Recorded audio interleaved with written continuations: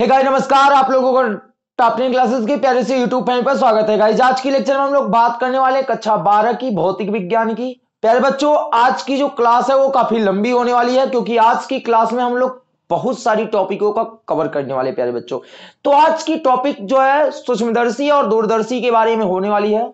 और सूक्ष्मदर्शी जो जितने प्रकार की होती है और दूरदर्शी जितने प्रकार की होती है। उन सभी प्रकारों का आज के ही क्लास में हम लोग अध्ययन करेंगे, प्यार बच्चों।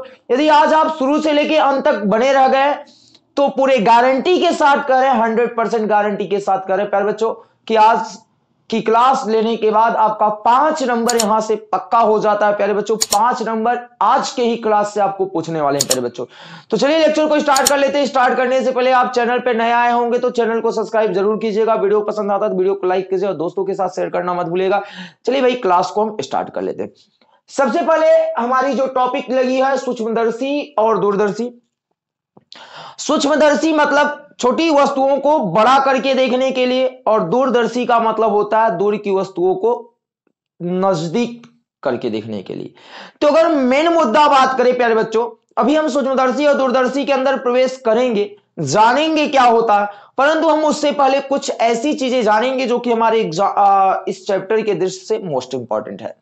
वो हमारी आज की टॉपिक क्या है, कि भाई सूक्ष्मदर्शी का मेन सिद्धांत क्या होता है दूरदर्शी का मेन सिद्धांत क्या होता है तो अगर हम बात करें सूक्ष्मदर्शी का जो सिद्धांत होता है, वो अगर हम बात कर ले तो भैया अगर सूक्ष्मदर्शी का सिद्धांत, सूक्ष्मदर्शी का सिद्धांत। तो अगर हम बात करें सूक्ष्मदर्शी के सिद्धांत की तो सूक्ष्मदर्शी का सिद्धांत ये होता है कि छोटी वस्तुओं छोटी छोटी वस्तुओं का छोटी छोटी वस्तुओं का बड़ा प्रतिबिंब प्राप्त करके दिखाना। अब कैसे छोटी वस्तुओं का बड़ा प्रतिबिंब बनाता है? वो अभी हम बात करेंगे। और जो दूरदर्शी का सिद्धांत होता है, प्यारे बच्चों, वो दूरदर्शी का जो सिद्धांत होता है, दूरदर्शी का सिद्धांत यह है कि अगर ये दूर स्थित वस्तु है दूर स्थित वस्तु है तो दूर स्थित वस्तु को आपके नज़दीक आपके नज़दीक प्रतिबिंब बना के दिखाना ही इसका क्या होता है? सिद्धांत होता है। अब ये सब सारा प्रोसेस डिपेंड करता है, प्यारे बच्चों, दर्शन कोड पे। किस पे डिपेंड करता है भाई? दर्शन कोड पे। तो सबसे पहली हेडिंग आएगी इस चैप्टर की या इस टॉपिक के अंतर्गत कि भैया दर्शन कोड क्या होता है? दर्शन कोड क्या होता है? तो अगर हम बात करें कि जब हम किसी वस्तु को देखते हैं जब हम किसी वस्तु को देखते हैं, जैसे ये वस्तु ए और क्या हो गई? बी हो गई। तो जब हम किसी वस्तु को देखते हैं तो वस्तु को देखने पर हमारे आँख पर एक कोण अंतरित होता है। उसे ही हम क्या कहते हैं? दर्शन कोण कहते हैं। यानी हम कह सकते हैं, प्यारे बच्चों, कि वस्तु द्वारा वस्तु द्वारा आँख पर बना कोण दर्शन कोण कहलाता है। क्या आप इतनी बात समझ पा रहे होंगे? तो अगर हम परिभाषा लिखना चाहे तो ये ज़रूर लिख सकते हैं कि वस्तु द्वारा वस्तु द्वारा आँख पर बना कोण आँख पर बना कोण दर्शन कोण कहलाता है। क्या कहलाता है भैया? आँख पे बना कोण कौन सा कोण कहलाता है प्यारे बच्चों? दर्शन कोण कहलाता है। क्या इतनी बात आपकी क्लियर हुई? दर्शन कोण कहलाता है। ठीक। अब हम बात करते हैं इसी चैप्टर में मोस्ट इंपॉर्टेंट शब्द रहने वाला है। आवर्धन क्षमता। जब भी आपके एग्ज़ाम में पूछेगा, किसी भी प्रकाशी केंद्र की आवर्धन क्षमता देगा तो आपसे पूछेगा कि आवर्धन क्षमता क्या होता है। तो ध्यान से देखना प्यारे बच्चों, आवर्धन क्षमता की परिभाषा हम समझते हैं, जिसे हम कैपिटल यम से व्यक्त करते हैं, ये एक बीमाहीन राशि होती है। अब ध्यान से देखिएगा आवर्धन क्षमता का क्या होता है? आवर्धन क्षमता होता है कि चाहे इसकी आवर्धन क्षमता हो, चाहे इसकी आवर्धन क्षमता हो। प्रकाशी केंद्र की आवर्धन क्षमता क्या होता है? तो भैया, वस्तु द्वारा जो बना हुआ दर्शन कोण होता है? दर्शन कोण को बड़ा करना ही प्रकाशी केंद्र की आवर्धन क्षमता कहलाती है। यानी कोई भी प्रकाशी केंद्र वस्तु द्वारा बनाए गए दर्शन कोण को कितना बड़ा बना सकता है, वो उसकी क्या कहलाती है? आवर्धन क्षमता कहलाता है।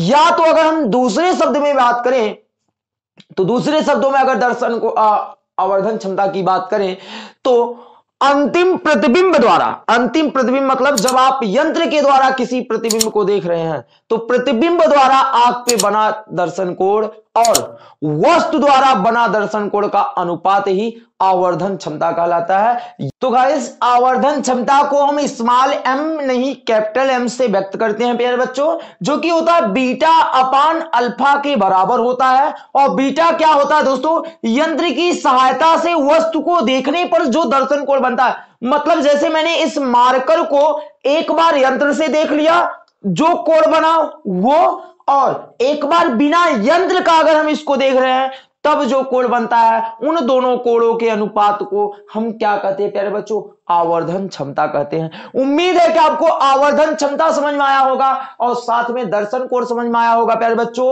अब हम चलेंगे सूक्ष्मदर्शी के बारे में जानेंगे, फिर उसके बाद दूरदर्शी के बारे में जानेंगे। और ध्यान देना दोस्तों, पाँच नंबर का यह प्रश्न आपके एग्ज़ाम में पूछने वाला है। तो चलिए ध्यान से देखते हैं सूक्ष्मदर्शी क्या होती है। हमने लिखा है कि यह एक ऐसा यंत्र होता है जिसकी सहायता से निकट स्थित वस्तु का बड़ा प्रतिबिंब प्राप्त किया जा सकता है। यानी हम कह सकते हैं कि सूक्ष्मदर्शी एक ऐसा यंत्र होता है जिसकी सहायता से नज़दीक रखी हुई वस्तुओं का बड़ा प्रतिबिंब प्राप्त करके देख सकते हैं। यानी हम कहते अगर मार्कर ये इतना छोटा है, इस मार्कर को अगर हम सूक्ष्मदर्शी की सहायता से देखेंगे तो ये मार्कर काफ़ी बड़ा दिखने वाला है। तो यही है प्यारे बच्चों, देख सकते हैं कि यह एक ऐसा यंत्र होता है जिसकी सहायता से निकट स्थित वस्तु का सूक्ष्म वस्तु मतलब छोटी छोटी वस्तुओं का बड़ा प्रतिबिंब प्राप्त करके स्पष्ट रूप से हम लोग देख पाते हैं। पहले बच्चों, एक बात ध्यान देना मेन पॉइंट है कि इसके द्वारा जो सूक्ष्म वस्तुओं का जो प्रतिबिंब होता है, जो छोटी वस्तुओं का प्रतिबिंब होता है इसके द्वारा छोटी वस्तुओं का जो प्रतिबिंब है, वो आभासी व बड़ा होता है। यानी हम कह सकते हैं कि जो सूक्ष्मदर्शी होती है, उसके द्वारा जब छोटी वस्तु का प्रतिबिंब बनता है तो वो आभासी बनता है और क्या बनता है? बड़ा बनता है, प्यारे बच्चों। और साथ में आप देख सकते हैं कि छोटी वस्तुओं का जो प्रतिबिंब है, आभासी व बड़ा देखा जा सकता है। क्या इतनी बात आपकी क्लियर हो गई होगी, प्यारे बच्चों? उम्मीद है कि आपको सूक्ष्मदर्शी के बारे में समझ में आ गया होगा। यह कितने प्रकार का होता है? यह दो प्रकार का होता है। सबसे पहला होता है सरल सूक्ष्मदर्शी और दूसरा होता है संयुक्त सूक्ष्मदर्शी। सबसे पहला होता है सरल सूक्ष्मदर्शी, और दूसरा कौन सा होता है प्यारे बच्चों? संयुक्त सूक्ष्मदर्शी। सरल सूक्ष्मदर्शी में क्या होता है? हम उनको यहाँ पर समझ सकते हैं। फिर नेक्स्ट टॉपिक में हम समझेंगे कि संयुक्त सूक्ष्मदर्शी क्या होता है। तो ये हम समझते हैं कि सरल सूक्ष्मदर्शी क्या होता है। तो सरल सूक्ष्मदर्शी एक ऐसा प्रकाशी केंद्र होता है जिसकी सहायता से हम निकट वस्तुओं को बड़ा प्रतिबिंब प्राप्त करते हैं। निकट वस्तुओं का बड़ा प्रतिबिंब प्राप्त करते हैं। इसे हम कभी कभी आवर्धक लेंस भी कहते हैं। संयुक्त सूक्ष्मदर्शी को हम क्या कहते हैं प्यारे बच्चों? आवर्धक लेंस आवर्धक का मतलब होता है बड़ा करके दिखाना, किसी को जूम करके दिखाना। जैसे आजकल हम लोग जो कैमरे में आप फ़ोटो लेते हैं सेल्फी लेते हैं तो जूम करते नहीं। तो जूम करने में क्या होता है कि जो वस्तुओं का जो प्रतिबिंब होता है, वो धीरे धीरे बड़ा होता जाता है। क्या होता जाता है? बड़ा होता जाता है। तो प्यारे बच्चों, सरल सूक्ष्मदर्शी की जो संरचना होती है, वो आपके इस बोर्ड पे दिखाई पड़ रहा होगा प्यारे बच्चों। सरल सूक्ष्मदर्शी बिल्कुल सेम सेम ऐसा होता है। जब हम लोग छोटे थे, बचपन में जब ड्रॉइंग बॉक्स खरीदते थे तो ड्रॉइंग बॉक्स में एक ऐसा था, छोटा सा दूरबीन जैसा मिलता था तो उसे हम लोग कहते थे, ये दूरबीन है। प्यारे बच्चों, वो एक एज ए सूक्ष्मदर्शी के भांति रहता है। अब देखिए इसमें क्या होता है। इसमें एक धातु का गोला छल्ला होता है। धातु का एक गोला छल्ला होता है और उस धातु के गोले छल्ले के अंदर एक उत्तल लेंस लगा होता है। ये देखिए अंदर का प्यारे बच्चों, ये क्या है? एक उत्तल लेंस होता है। साथ में इसको जो है एक हत्थे के माध्यम से जोड़ दिया जाता है, जिससे हम लोग उस हत्थे को आसानी से पकड़ सकते हैं। प्यारे बच्चों, आइए हम लोग देखते हैं कि आखिर होता कैसा। तो प्यारे बच्चों, ये देख सकते हैं कि जैसा आपको ये दिखाई पड़ रहा होगा। देख रहे हैं ये जो पीला वाला भाग है प्यारे बच्चों, यहाँ ऐसे देखिए, ऐसे अगर हम रख दें तो ये जो पीला वाला भाग है प्यारे बच्चों, ये हत्था का काम कर रहा है। अर्थात इसमें एक हत्था लगा होता है, जिससे हम लोग इसको क्या करते हैं, आसानी से पकड़कर आगे या पीछे क्या कर सकते हैं, घसका सकते हैं, आगे पीछे क्या कर सकते हैं, खिसका सकते हैं। समझ रहे प्यारे बच्चों? अब आप समझिए जरा सा, अब ये देखिए, ये जो अंदर ये कांच लगा है, ये क्या होता है? ये एक उत्तल लेंस का होता है। कैसा होता है प्यारे बच्चों? ये उत्तल लेंस होता है, और जो ये हरा वाला भाग भाग आपको दिखाई पड़ रहा है, प्यारे बच्चों। ये जो हरा वाला भाग है, ये धातु का गोला छल्ला होता है। क्या इतनी बात आपकी क्लियर हुई? यानी हम संरचना में लिख सकते हैं कि यह एक साधारण धातु के गोले के छल्ले में एक उत्तल लेंस लगा के बनाया जाता है, जिसको आसानी से पकड़ने के लिए, सुविधाजनक पकड़ने के लिए एक हत्था लगा देते हैं। बस यही इसकी संरचना हो जाती है, प्यारे बच्चों।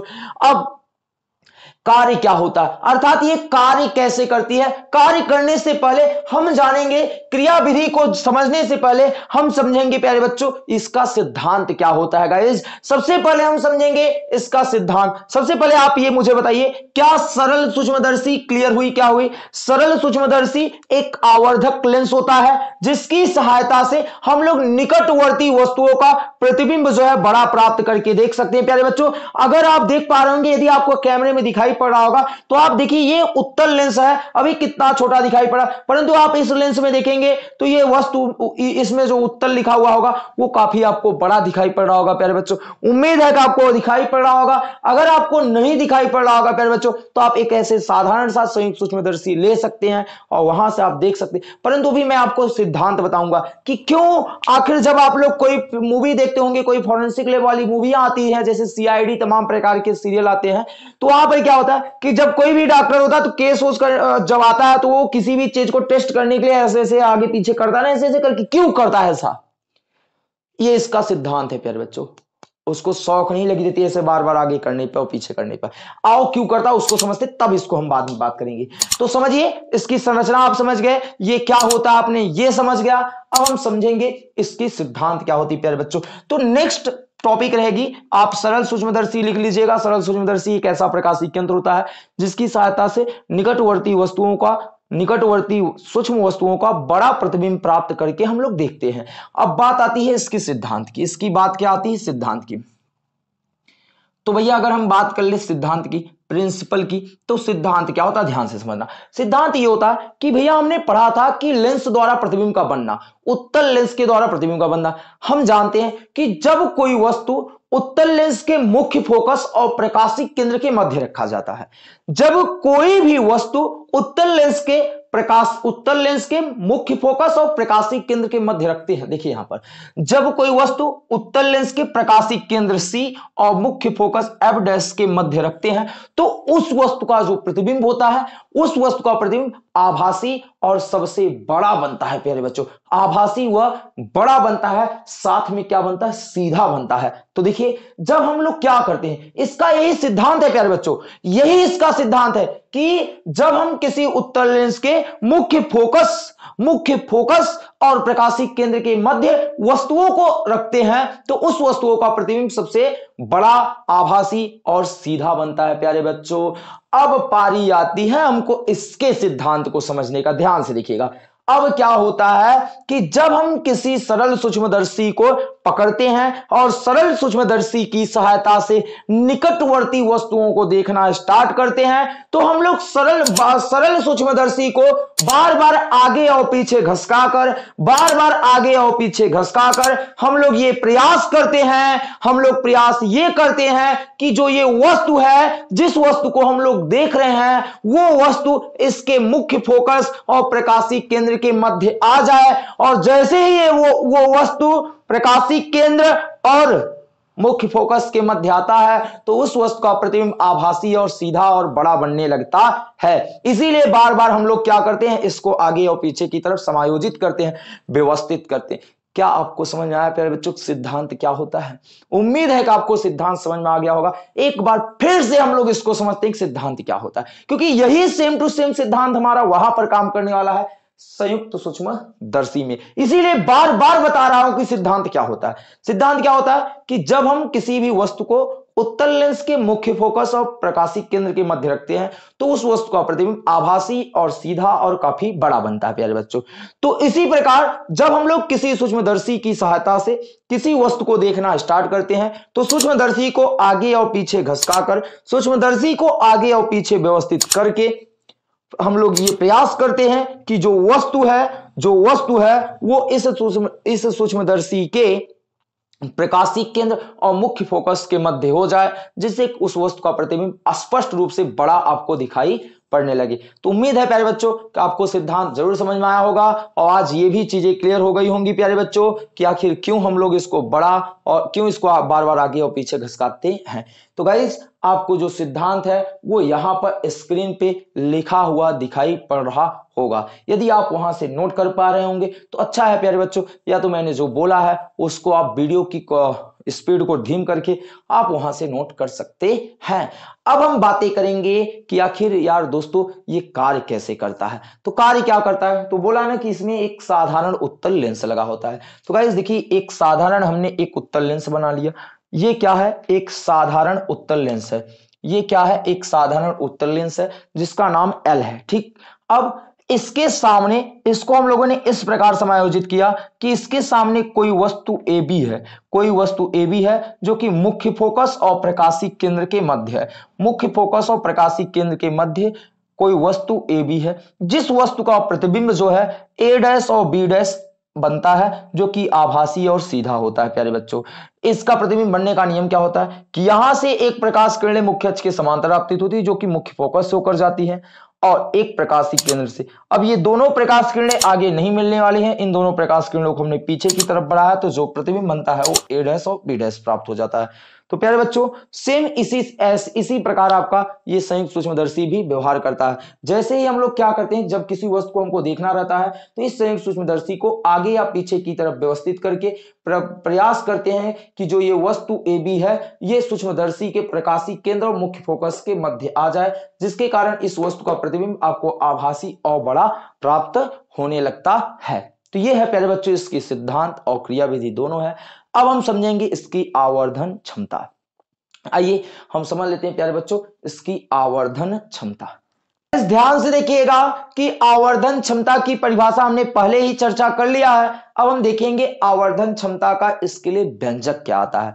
जब, प्यारे बच्चों, ये जो प्रतिबिंब ए डैश बी रहा है, वो अंत अंतिम अस्पष्ट अस्पष्ट ध्यान से देखते हैं कि जब जो ये प्रतिबिंब होता है, वो अस्पष्ट दृष्टि की न्यूनतम दूरी डी पर बनता है। यानी हम कहते हैं कि जब किसी भी वस्तु का प्रतिबिंब अस्पष्ट दृष्टि की न्यूनतम दूरी पर बनता है, तब के लिए आवर्धन क्षमता क्या होता है, प्यारे बच्चों? तो ध्यान से देखना, जब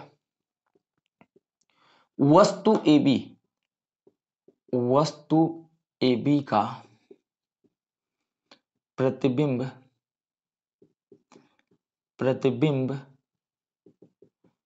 A dash B dash A dash B dash स्पष्ट दृष्टि की न्यूनतम दूरी डी पर बने। स्पष्ट दृष्टि की न्यूनतम दूरी डी पर बनता है। दूरी डी पर बनता है। तब क्या होगा? बनता है। तब जो आवर्धन क्षमता होगा, m बराबर one plus D upon F हो जाएगा। वन यम बराबर one plus D upon F तब के लिए आवर्धन क्षमता ये हो जाएगा, प्यारे बच्चों, ठीक? और केस नंबर दो में, जब जब जो ये वस्तु है ए और बी वो मुख्य फोकस पर हो। कहा हो? मुख्य फोकस और प्रकाशिक केंद्र के मध्य ना हो, कहाँ पर हो? मुख्य फोकस पर हो। तो जब वस्तु मुख्य फोकस मुख्य फोकस एफ़ डैश पर हो, तब जो प्रतिबिंब होता है, प्यारे बच्चों, तब प्रतिबिंब अनंत पर बनता है। तब प्रतिबिंब ए डैश बी डैश अनंत पर बनेगा। कहाँ पर बनेगा प्यारे बच्चों? अनंत पर बनेगा। तब जो आवर्धन क्षमता होगा, वो हो जाएगा यम बराबर डी बटे एफ़ डी बटे क्या हो जाएगा? एफ़ हो जाएगा। तो इस प्रकार प्यारे बच्चों, दोनों स्थितियों में आवर्धन क्षमता का व्यंजक हो जाता है। ये रहा आपका सरल सूक्ष्मदर्शी का आवर्धन क्षमता। ये रही इसकी क्रिया विधि का डायग्राम ये रहा इसके संरचना का डायग्राम सिद्धांत हमने आपको समझा दिया है प्यारे बच्चों। उम्मीद है कि आपको सरल सूक्ष्मदर्शी क्लियर हो गई होगी। अब हम चर्चा करेंगे संयुक्त सूक्ष्मदर्शी की, जो कि आपके एग्ज़ाम में संयुक्त सूक्ष्मदर्शी पाँच नंबर का पिछले सत्र में पूछा गया, प्यारे बच्चों। तो आइए हम उसको देख लेते हैं। तो गाइज़ हम बात करेंगे नेक्स्ट टॉपिक की, संयुक्त सूक्ष्मदर्शी क्या होता है? तो प्यारे बच्चों, ध्यान से देना, देखना बार बार मैं बता रहा हूँ कि ये टॉपिक आपके एग्ज़ाम में इस बार पूछ सकता है, प्यारे बच्चों। तो मैं आज फिर से बता दे रहा हूँ तो ध्यान से देखना। भाई, यह एक ऐसा यंत्र होता है जिसकी सहायता से अधिक यानी छोटी से छोटी वस्तुओं का बड़ा प्रतिबिंब प्राप्त करके हम देख सकते हैं। यही चीज़ लिखा गया है कि यह एक ऐसा प्रकाशी केंद्र होता है जिसकी सहायता से बहुत ही छोटी छोटी से छोटी वस्तुओं का बड़ा प्रतिबिंब प्राप्त करके हम लोग क्या करते हैं? देख पाते हैं। पहले बच्चों, ध्यान देना यह जो होता है, सरल सूक्ष्मदर्शी की तुलना में इसकी आवर्धन क्षमता अधिक होता है। प्यारे बच्चों, ध्यान से देखना, यानी इसकी आवर्धन क्षमता सरल सूक्ष्मदर्शी की तुलना में अधिक होती है। अब इसकी संरचना क्या होता है? तो संरचना अर्थात बनावट ये बना कैसे होता है, प्यारे बच्चों? तो इसमें दो उत्तर लेंस लगे होते हैं। दो उत्तर लेंस लगे होते हैं। एक छोटा उत्तर लेंस होता है, एक बड़ा उत्तर लेंस होता है, प्यारे बच्चों। और ये दोनों लेंस एक नली के सहारे लगे हुए होते हैं। एक नली के सहारे क्या होते हैं? लगे हुए होते हैं। अर्थात हम कह सकते हैं कि इसमें एक बेलनकार नली होता है। बेलनकार नली के एक सिरे पर एक छोटा सा लेंस लगा होता है और बेलनकार नली के दूसरे सिरे पर एक बड़ा लेंस लगा होता है। जो छोटा वाला लेंस होता है, उसे हम अभिदृश्यक लेंस कहते हैं और जो बड़ा वाला लेंस होता है, उसे हम नेत्रिका लेंस कहते हैं, प्यारे बच्चों। अर्थात जो आँख के पास लेंस रहता है, जहाँ पर हम लोग आँख को रखकर वस्तु को देखते हैं, यानी आँख के पास रहने वाले लेंस को नेत्रिका लेंस और वस्तु की तरफ़ रहने वाले लेंस को अभिदृश्यक लेंस कहते हैं। खास बात यह होता है, प्यारे बच्चों, इसका जो द्वारक होता है, वो कम होता है और इसकी फोकस दूरी भी कम होती है। और इसकी फोकस दूरी ज़्यादा होता है और द्वारक भी क्या होता है? बड़ा होता है। अब आप कहेंगे, सर, द्वारक क्या होता है? भाई, द्वारक होता है इसका व्यास। द्वारक क्या होता है? इसका व्यास। ये वाली लाइन यहाँ से लेके यहाँ तक। तो एक बार इसकी संरचना और बनावट हम फिर से समझ लेते हैं, प्यारे बच्चों। एक इसमें बेलनकार पाइप होती है। बेलनकार पाइप के एक सिरे पर अभिदृश्यक लेंस लगा होता है तथा दूसरे सिरे पर नेत्रिका लेंस लगा होता है। नेत्रिका लेंस काफ़ी बड़ा होता है और अभिदृश्यक लेंस छोटा होता है, प्यारे बच्चों। अब ध्यान से देखिएगा, साथ में नेत्रिका लेंस के फोकस पर, नेत्रिका लेंस के फोकस पर एक क्रांस तार लगा होता है। नेत्रिका लेंस के फोकस पर एक क्रांस तार लगा होता है और साथ में अभी नेत्रिका लेंस वाले बेलन में, या हम कह दें, साथ में एक दंड चक्र व्यवस्था लगा होता है। अब आप सोच रहे होंगे, सर जी, कि आखिर ये क्या होता होगा? भाई, हम इसकी सहायता से ये जो वाली, ये जो पतली वाली नली है, इसको हम पतली वाले नली को अंदर की तरफ़ घसका सकते हैं या बाहर की तरफ़ भी घसका सकते हैं। यानी हम कह सकते हैं, प्यारे बच्चों, कि इस दंड चक्र की व्यवस्था से, इस दंड चक्र की व्यवस्था से हम इस पतली वाली नली को पीछे भी ले जा सकते हैं और पतली वाले नली को आगे भी ले जा सकते हैं। तो ये इस प्रकार इसकी क्या होती है? बनावट होती है। इस प्रकार इसकी क्या होती है? संरचना होती है, प्यारे बच्चों। एक बार फिर से हम समझते हैं कि इसकी संरचना क्या होती है। ध्यान से देखना, मैं जो जो लाइनें बोल रहा हूँ, वो वो लाइनें आपको चित्र में दिखाई पड़ रही नहीं इसमें एक बेलनकार पाइप होता है। बेलनकार पाइप का एक सिरा एक सिरा पतला और एक सिरा काफ़ी मोटा होता। है मोटे वाले सिरे पर नेत्रिका लेंस लगाया जाता है और पतले वाले सिरे पर अभिदृश्यक लेंस लगाया जाता है। बात इतनी क्लियर हो गई, प्यारे बच्चों। तथा एक इसमें दंड चक्र व्यवस्था लगा होता है और एक क्रांस तार लगा होता है। दंड चक्र की व्यवस्था की मदद से पतली वाली बेलन को पतले वाले नली को हम चौड़े वाले नली में आगे या पीछे क्या कर सकते हैं? घसका सकते हैं। और आगे साथ में सुनिएगा प्यारे बच्चों क्रांस तार क्यों लगा होता है? क्रांस तार नेत्रिका लेंस के मुख्य फोकस पर लगा होता है प्यारे बच्चों। अब इसका काम क्या होता है? वो हम समझेंगे स, आ, जब ये कार्य कैसे करता है। तो प्यारे बच्चों संरचना और बनावट अर्थात संरचना, इसके बारे में आप आराम से लिख सकते हैं। उम्मीद है कि आप चित्र देखकर इसे लिख सकते हैं, प्यारे बच्चों। या तो अगर आप चाहो तो मैं संरचना लिख दूँ, प्यारे बच्चों। या लिख दी आपको इसकी संरचना स्क्रीन पे लिखा हुआ दिखाई पड़ रहा होगा। आप वहाँ से नोट कर लेना, प्यारे बच्चों। इसके लिए खेद है जो हम लिख नहीं पा रहे हैं, प्यारे बच्चों। ठीक? अब हम बात करते हैं इसकी क्रांस तार क्यों लगा होता है? तो ध्यान से समझना। सबसे पहले अगर मान लीजिए मैं आपको ये दे दूँ, आप देखोगे कैसे? तो सबसे पहले, प्यारे बच्चों, ये जो नेत्रिका लेंस होती है, नेत्रिका लेंस को हम इस प्रकार समायोजित करते हैं। नेत्रिका लेंस को हम इस प्रकार समायोजित करते हैं कि नेत्रिका लेंस में ये क्रांस तार, ये क्रांस तार आपको दिखाई पड़े। यानी अगर हम मान लेते हैं, ये हमारी चौड़ी बेलनकार पाइप हो गई, ये पतली बेलनकार पाइप हो गई। अब हम इसको इस प्रकार समायोजित करें कि ये जो नेत्रिका लेंस के सामने क्रांस तार लगा हुआ है, ये क्रांस तार आपको नेत्रिका लेंस में दिखने लगे। आप समझ पाए प्यारे बच्चों? यानी हम कह सकते हैं कि इस दंड चक्री की व्यवस्था से इस नेत्रिका लेंस को आगे या पीछे खिसकाकर इस प्रकार व्यवस्थित करें कि ये क्रांस तार ये जो क्रांस का तार है ना, वो नेत्रिका लेंस में आपको दिखाई पड़ने लगे। पहला स्टेप ये है। पहले स्टेप में, यानी हम कह सकते हैं कि ये कार्य कैसे करता है, प्यारे बच्चों? ये कोई आपको नहीं बताने वाला, ध्यान से दिखेगा यानी हम समायोजन कैसे करते हैं इसकी? तो स्टेप वन स्टेप वन हम क्लियर करते हैं, स्टेप फ़र्स्ट में क्या करना है।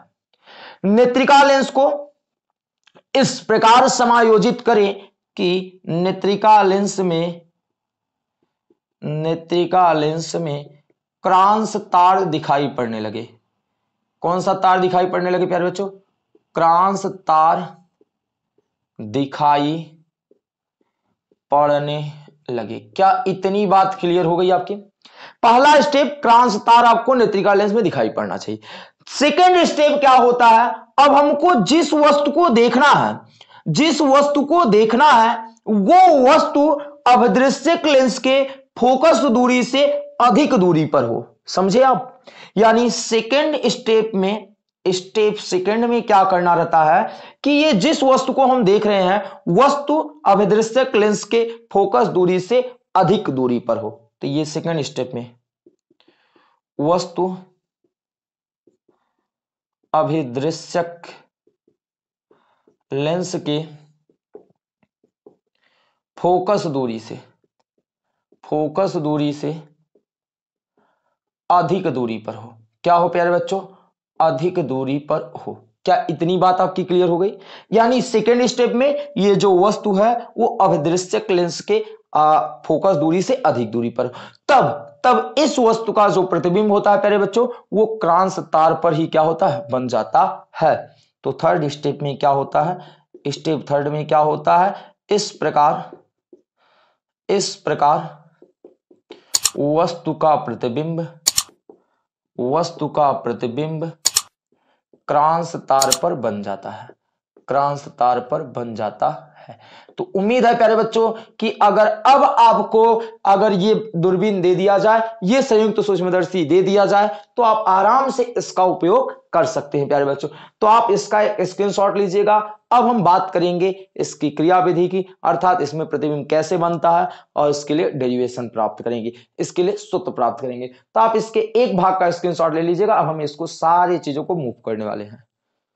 तो गाइस हम समझते हैं कि संयुक्त सूक्ष्मदर्शी में वस्तु का प्रतिबिंब कैसे बनता है, प्यारे बच्चों। उसके लिए हमने डायग्राम पहले ही बना के रखा है। यदि आप स्केल की मदद से डायग्राम बनाएँगे तो आपके एग्ज़ाम में डायग्राम गलत होने का कोई भी चांस नहीं होगा, प्यारे बच्चों। और ध्यान देना कि डायग्राम को सदैव पेंसिल से बनाइएगा, जिससे कि जहाँ पर गलत हो, आप वहाँ पर उसका सुधार कर सको। यदि आप पेन से बनाएँगे तो आपके डायग्राम गलत हो जाएँगे, और डायग्राम गलत होने का मतलब होता है, प्यारे बच्चों, कि आपके डेरिवेशन में समस्याएँ आ जाएँगी। तो प्यारे बच्चों, आइए हम समझते हैं प्रतिबिंब कैसे बनता है संयुक्त सूक्ष्मदर्शी में। तो सबसे पहले इसमें एक अभिदृश्यक लेंस और एक नेत्रिका लेंस लगा होता है, जैसा कि हमने बनावट में भी बात किया था, प्यारे बच्चों। अब उसके सामने क्या होता है कि मैंने वहाँ पर फ़र्स्ट लाइन बोला था कि जो भी कोई वस्तु होता है, वस्तु यहाँ पर कोई ए और बी है, जो कि अभिदृश्यक लेंस के मुख्य फोकस से अधिक दूरी पर स्थित है। यही मैंने वहाँ पर भी बताया था कि जिस वस्तु को हमको देखना रहता है, उस वस्तु को अभिदृश्यक लेंस के मुख्य फोकस से अधिक दूरी पर रखते हैं, प्यारे बच्चों। तो यही चीज़ है कि हम लोगों ने क्या कहा कि ये कोई वस्तु ए बी हो गई, जो कि अभिदृश्यक लेंस के मुख्य फोकस से अधिक दूरी पर है। अब यहाँ से दो प्रकाश किरणें चली एक मुख्य अक्ष के समांतर प्रकाश किरणें चल रही हैं और एक प्रकाशी केंद्र ओ से होकर जा रही हैं। अब ये दोनों प्रकाश किरणें यहाँ पर जाकर मिल रही हैं। नेत्रिका लेंस के फोकस, मुख्य फोकस और प्रकाशी केंद्र के बीच में इस वस्तु ए बी का प्रतिबिंब ए वन और बी वन बन जाता है, प्यारे बच्चों। अब जो ये ए वन और बी वन प्रतिबिंब बनता है, ये वास्तविक और उल्टा होता है। परंतु ये जो ए वन और बी वन प्रतिबिंब होता है नेत्रिका लेंस के लिए आभासी वस्तु का कार्य करने लगता है। क्या करने लगता है प्यारे बच्चों? आभासी वस्तु का कार्य करने लगता है और इस ए वन बी वन का जो प्रतिबिंब होता है, वो नेत्रिका लेंस के द्वारा प्यारे बच्चों ए डबल डैश और बी डबल डैश प्राप्त होता है। क्या इतनी बात आपकी क्लियर हुई, प्यारे बच्चों? अब सोचिए कि A double dash B double dash कैसे बनता है। अब ध्यान से देखना, प्यारे बच्चों, यहाँ से ये जो ए वन और बी वन है, इसके लिए आभासी वस्तु का कार्य कर रहा है, प्यारे बच्चों। अब यहाँ से देखिए, यहाँ से दो प्रकाश किरणें निकली और ये जो दोनों प्रकाश किरणें हैं, ये नेत्रिका लेंस पे पड़ी। अब नेत्रिका लेंस पे पड़ने के पश्चात ये मुख्य अक्ष के क्या हो गई? समांतर हो गई। अब देखिए, ये दोनों प्रकाश किरणें, प्यारे बच्चों, आगे आप चाहे जितना बढ़ाते चले जाएँगे, आगे पर मिलने वाला नहीं है। तो इसलिए इन दोनों प्रकाश किरणों को हम पीछे की तरफ़ बढ़ाते हैं, प्यारे बच्चों, जो कि वस्तु के पीछे, वस्तु के पीछे A double dash B double dash पर क्या कर जाता है? प्रतिच्छेद कर जाता है, प्यारे बच्चों। अब आप कह रहे होंगे, सर, इतनी लाइनें आपने क्यों खींचा? तो प्यारे बच्चों, एक लाइन हम लोगों ने खींचा यहाँ से ई से लेकर कहाँ तक, प्यारे बच्चों? बी डबल डैश तक, जो कि हमने कहा कि एक प्रकाश किरणें ये नेत्रिका लेंस के प्रकाशिक केंद्र से होकर आ रही हैं। अब ये जो दोनों प्रकाश किरणें, ये जो प्रकाश किरणें हैं, ये नेत्रिका लेंस के प्रकाशिक केंद्र से जब होकर आती है तो ये जिस मार्ग से आई रहती, उसी मार्ग में वापस लौट जाती है। तो इस प्रकार ए वन बी वन वस्तु का प्रतिबिंब A double dash B double dash प्राप्त हो जाता। है प्यारे बच्चों, फिर से हम इसके क्रियाविधि को समझ लेते हैं कि यार इसमें प्रतिबिंब कैसे बनता है। सबसे पहले हम क्या करते हैं कि जिस वस्तु को हमको देखना रहता है, वो वस्तु यहाँ पर ए बी है। तो माना कोई वस्तु ए बी है, जो कि अभिदृश्यक लेंस के मुख्य फोकस से अधिक दूरी पर स्थित है। अब इस वस्तु का जो प्रतिबिंब है, वो A1 और B1 बनता है, जो कि नेत्रिका लेंस के मुख्य फोकस और प्रकाशिक केंद्र के मध्य बनता है, प्यारे बच्चों। और A1 B1 प्रतिबिंब नेत्रिका लेंस के लिए आभासी वस्तु का कार्य करता है, और इस A1 B1 का प्रतिबिंब वस्तु के पीछे A double dash A double dash और बी डबल डैश काफ़ी बड़ा प्रतिबिंब प्राप्त हो जाता है। प्यारे बच्चों, इसी प्रकार प्रतिबिंब का जो है, संयुक्त सूक्ष्मदर्शी में प्रतिबिंब आपका प्राप्त होता है। अगर आपको ये सारा चीज़ लिखा हुआ दिखाई चाहिए, प्यारे बच्चों, या तो आपको लिखा लिखान चाहिए तो आपको स्क्रीन पे ये सारी चीज़ें जो हमने बताया है, वो चीज़ें आपको स्क्रीन पे लिखा हुआ दिखाई पड़ रहा होगा, प्यारे बच्चों। वो आप वहाँ से नोट कर सकते हैं। अब हम बातें करेंगे इसके आवर्धन क्षमता के व्यंजक का। तो चलिए अब हम बात करेंगे आवर्धन क्षमता निकालने की बात। तो मान लेते हैं, प्यारे बच्चों, माना जो वस्तु ए बी है, वस्तु ए बी है, उसके द्वारा ए बी जो, माना जो वस्तु ए बी है, वो अत्यंत काफ़ी छोटा है, बहुत ही छोटा वस्तु ए बी है, और जिसका प्रतिबिंब बना ए वन और बी वन। तो प्यारे बच्चों, जो ए वन बी वन है ए वन बी वन का जो प्रतिबिंब है A double dash B double dash है। तो माना ए डबल डैश और बी डबल डैश द्वारा नेत्रिका लेंस पे बना जो दर्शन कोण है, प्यारे बच्चों, उसे हमने बीटा का नाम दे दिया। किसका नाम दे दिए? बीटा का नाम दे दिए। तो आइए, अब हम आवर्धन क्षमता के लिए व्यंजक का बात करेंगे। तो आइए समझते हैं व्यंजक क्या होता है। तो गाइस हम बात करेंगे आवर्धन क्षमता की बात। तो आवर्धन क्षमता में समझते हैं। किसी भी प्रकाशी केंद्र की जो आवर्धन क्षमता होती है, प्यारे बच्चों, वो क्या होता है? यार मैंने बताया ना कि प्रतिबिंब द्वारा बना दर्शन कोण बीटा है। माना। A double dash B double dash द्वारा बना दर्शन कोण। क्या? बना दर्शन कोण। तो बना दर्शन कोड जो है, हम उसको नाम दे देते हैं बीटा। ठीक? अब ध्यान से देखना। ए वन और बी वन ए वन और बी वन नेत्रिका लेंस के लिए आभासी वस्तु का कार्य कर रही थी। न कि प्यारे बच्चों, ये आपका वस्तु का कार्य कर रहा है। तो आभासी वस्तु का कार्य कर रहा तो ए वन बी वन के बराबर हमने इस आभास, इस प्रतिबिंब पर एक चाप काट लिया, जो कि A double dash B three के क्या है? बराबर है। तो प्यारे बच्चों, अब हम मान लेते हैं कि इस वस्तु ए वन और बी वन या A double dash B three के द्वारा जो बना कोड, दर्शन कोड है, उस कोड को हमने नाम दे दिया अल्फ़ा। ये दिखाई पड़ पड़ा तो हम कह सकते हैं, क्या लिख सकते हैं कि ए वन बी वन आभासी वस्तु आभासी वस्तु ए वन बी वन या ए वन बी वन या, उसी के बराबर कौन है प्यारे बच्चों? A double dash B three A double dash B three के द्वारा बना दर्शन कोड। बना दर्शन कोड, अल्फ़ा। क्या मान लेते हैं प्यारे बच्चों? अल्फ़ा है। तो अब आवर्धन क्षमता क्या हो जाएगा? तो संयुक्त सूक्ष्मदर्शी की संयुक्त सूक्ष्मदर्शी की आवर्धन क्षमता। संयुक्त सूक्ष्मदर्शी की आवर्धन क्षमता यम बराबर होगा बीटा बटे अल्फ़ा, समीकरण नंबर एक। अब हम प्यारे बच्चों, बीटा और अल्फ़ा की वैल्यू निकाल के समीकरण एक में रख देंगे। तो चलिए, बीटा हम निकालते हैं। तो बीटा कौन से त्रिभुज में है प्यारे बच्चों? A double dash B double dash E में। तो त्रिभुज A double dash B double dash E में। तो लिखेंगे, बीटा जो है अत्यंत सूक्ष्म कोण है, इसलिए प्यारे बच्चों चूँकि बीटा अत्यंत क्या है? सूक्ष्म। और क्यों छोटा है? क्योंकि वस्तु छोटा है। तो अत्यंत सूक्ष्म कोण है। अत्यंत सूक्ष्म कोण है। अतः जो बीटा होगा, वो टेन बीटा के बराबर होगा। टेन बीटा का फॉर्मूला होता है, प्यारे बच्चों लंब बटे आधार। अब देखिए यहाँ लंब कौन है प्यारे बच्चों? देखिए तो कोण के सामने वाली भुजा लंब होती है तो लंब कौन है? A double dash B double dash चित्र में ध्यान से देखिएगा A double dash B double dash आधार कौन है? ए डबल डैश से लेके ई e तक. ए डबल डैश ई ठीक?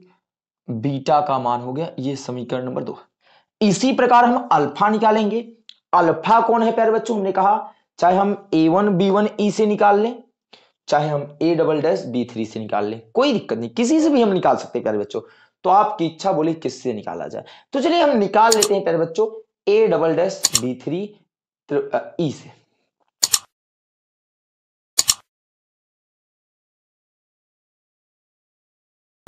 जब ये अत्यंत सूक्ष्म कोण है, अतः जो अल्फ़ा होगा वो किसके बराबर हो जाएगा? टेन अल्फ़ा के। और अल्फ़ा जब टेन अल्फ़ा के बराबर होगा तो टेन अल्फ़ा का फॉर्मूला होता है लंब बटे आधार। अब ध्यान दीजिए, जो लंब है प्यारे बच्चों, वो इस बार A double dash B three है। A double dash B three है। और जो आधार है, वो पूरा यहाँ से ए डबल डैश से लेके ई तक है। तो क्या हो जाएगा? ए डबल डैश ई हो जाएगा। ये समीकरण नंबर क्या आ गया? तीन। अब समीकरण दो और तीन से अल्फ़ा बीटा का मान समीकरण एक में रखने पर। तो रखते हैं।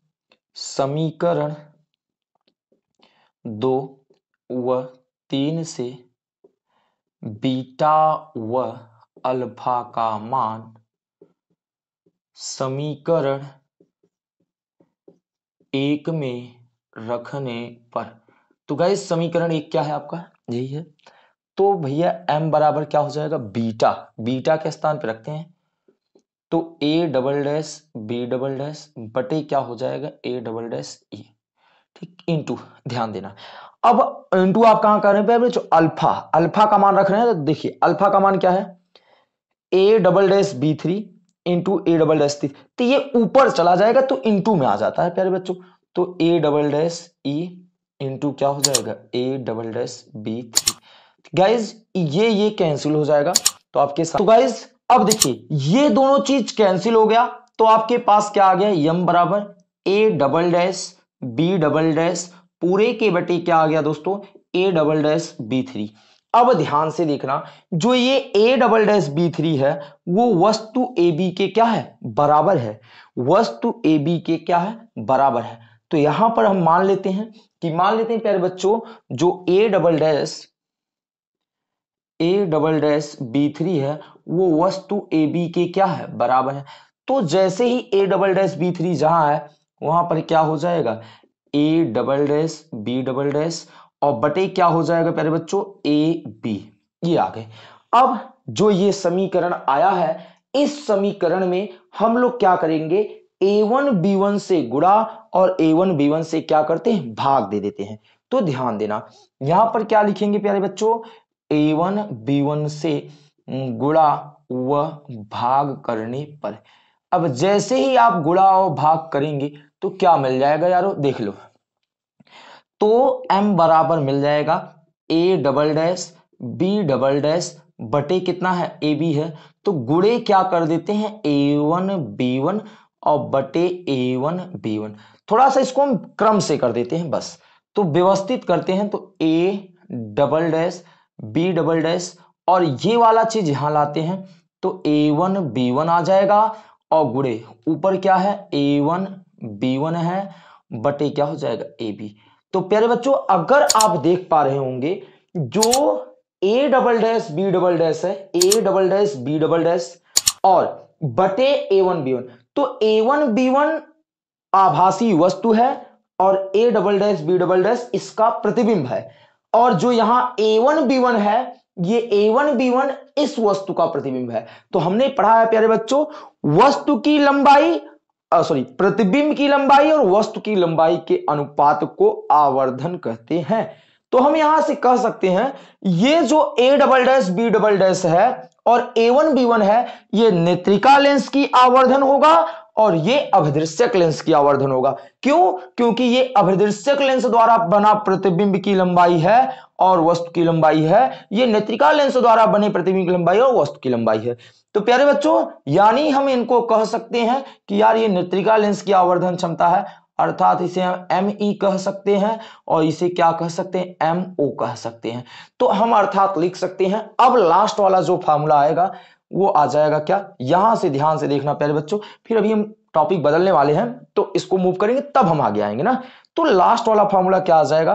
कैपिटल एम बराबर, इसे हम क्या करें? M E small M E यानी नेत्रिका लेंस की आवर्धन क्षमता इनटू अभिदृश्यक लेंस की आवर्धन क्षमता। तो ये आ जाता है ये। तो समीकरण नंबर तीन तक आप लोग बना लिए थे, ये समीकरण नंबर क्या हो जाता है? चार हो जाता है, ठीक? अब अगर हम इसको v और u के पदों में लाना चाहें तो क्या हो जाएगा प्यारे बच्चों? तो हमने एक फार्मूला इससे पिछले पढ़ा था कि भैया m बराबर आई बटे तो o होता है। ठीक, प्रतिबिंब लंबाई वस्तु उसके साथ साथ हमने ये भी पढ़ा था प्यारे बच्चों, v अपान u भी होता है। क्या होता है? V अपान u भी होता है। इस बात को ध्यान देना। साथ में प्यारे बच्चों एक दर्पण के लिए पढ़े थे और एक आपने लेंस के लिए। तो लेंस के लिए तो ये पढ़ा था। और दर्पण के लिए माइनस वी बटे यू पढ़ा होगा, ठीक? तो अगर हम बात करें इसी को v और u के पदों में तो इसको भी हम u के पदों में लिख सकते हैं। जैसे मैंने कहा कहा कि देखिए, a डबल डैश तो प्यारे बच्चों, जो a डबल डैश है या a वन बी वन है तो देखिए आप क्या कर रहे हो?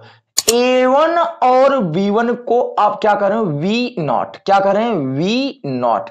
अर्थात अगर हम समझना चाहें तो क्या लिख सकते हैं? अगर मुझे यमो हटाना है, भाई, स्मॉल एम है, मैं बार बार कर रहा हूँ small M small M O बराबर, बताओ पहले ये लेंस के बाई तरफ़ है या लेंस के दाई तरफ़ है? ध्यान से देखना।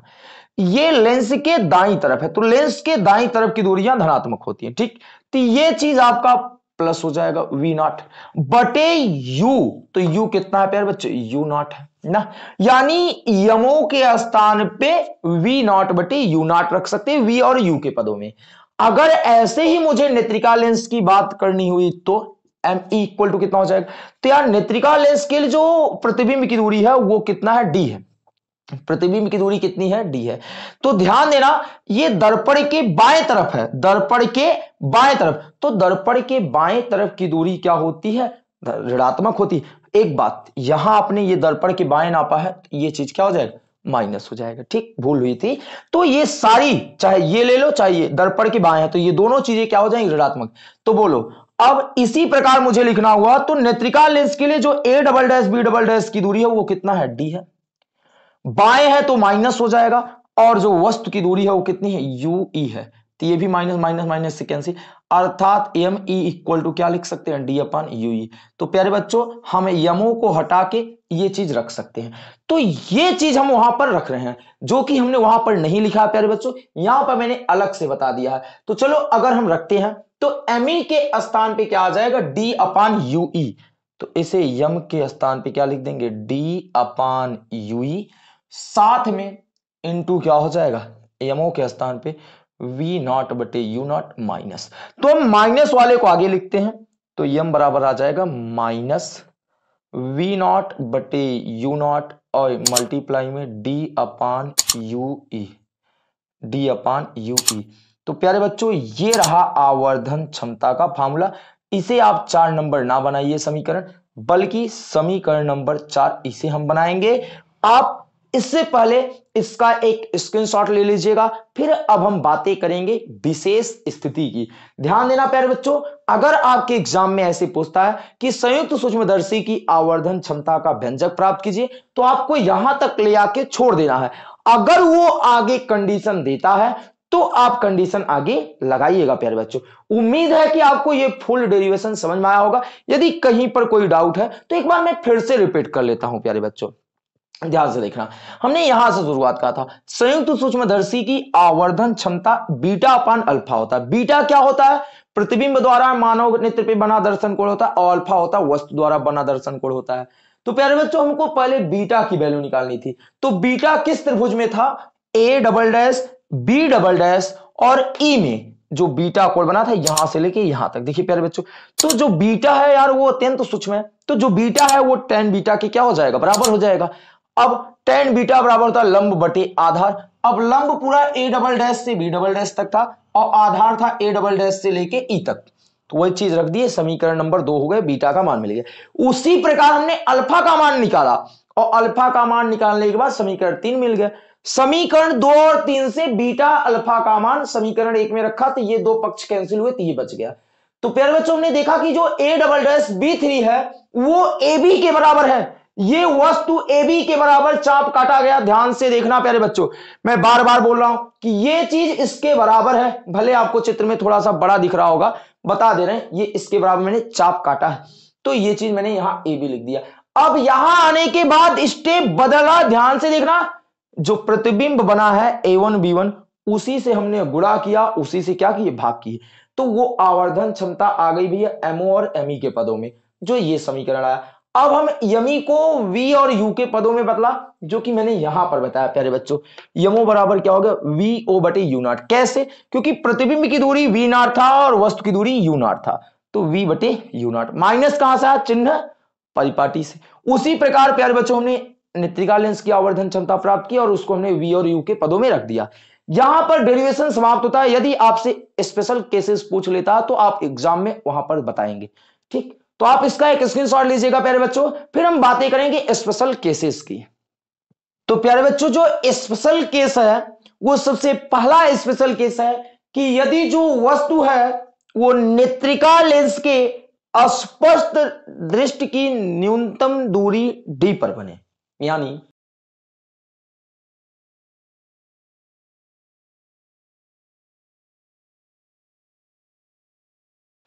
तब क्या होता है? तब जो प्यारे बच्चों, जो v होता है, जो v होता है, वो किसके बराबर हो जाता है? D के। चिन्ह परिपाटी से देखेंगे तो माइनस डी आएगा। और जो u होता है, वो भी यू ई के बराबर हो जाएगा, माइनस यू ई के। जो वस्तु की दूरी है, वो यू ई हो जाएगी, माइनस हो जाएगा, ठीक? और जो एफ़ होता है, वो भी एफ़ ई के बराबर हो जाएगा। किसके बराबर हो जाएगा, प्यारे बच्चों? एफ़ ई के बराबर। और ये भी क्या हो जाएगा? चिन्ह परिपाटी से माइनस हो जाएगा क्योंकि ये सारी चीज़ इधर है ना भाई, बाएँ तरफ़ है तो माइनस हो जाएगा। अब ध्यान से देखना। अब लेंस के सूत्र से तो लेंस के सूत्र से क्या होगा? ध्यान से देखना। लेंस का सूत्र क्या कहता एक बटे वी तो एक बटे वी के स्थान पे कहा है? माइनस डी है। फिर एक माइनस एक बटे यू तो यू के स्थान पे माइनस यू ही है, बराबर एक बटे एफ़ एफ़ के स्थान पे एफ़ ही है।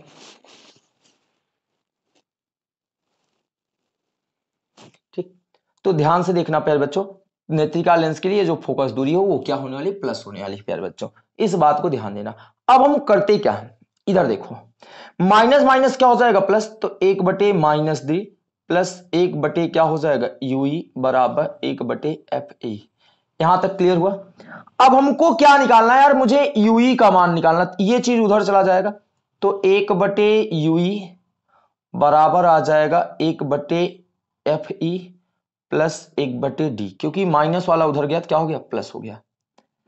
अब मुझे तो डी बटे यूई चाहिए ना, यहीं पर डी बटे यूई का ही तो मान निकाल के रखेंगे तो यहाँ डी चाहिए।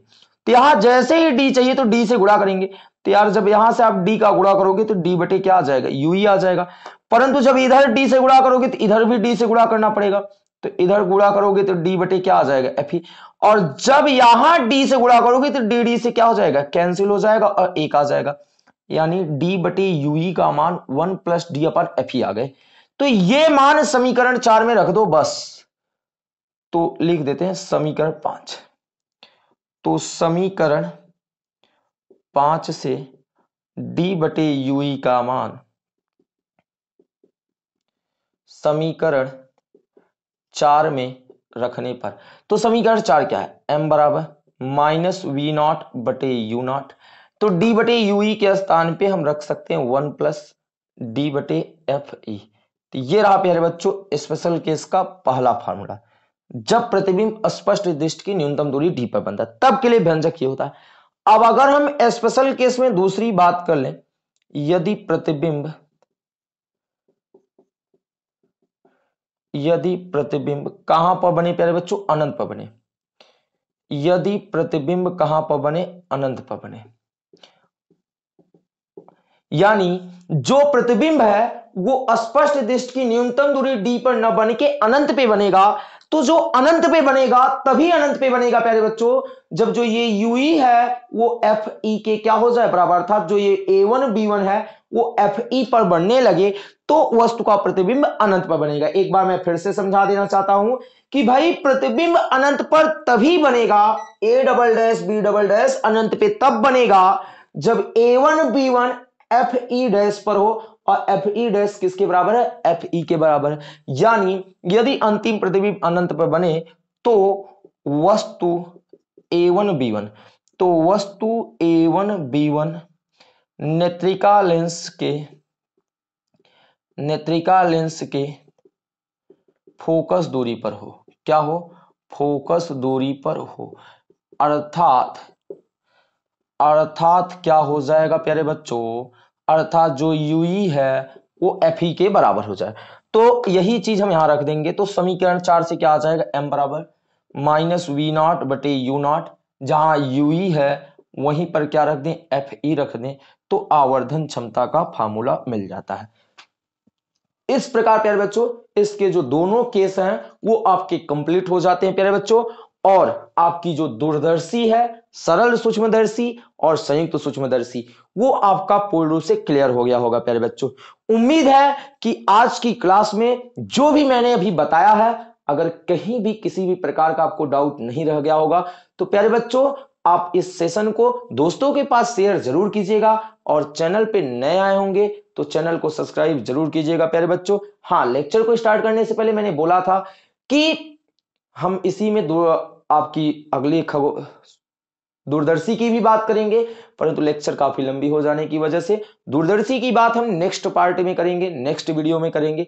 तब तक के लिए आप इसको देखिए और अपने पाँच नंबर जो है पहले बच्चों तैयार कर लीजिए। मिलते हैं आपको नेक्स्ट वीडियो में, तब तक के लिए जय हिंद, जय Bharat. Thank you all dear student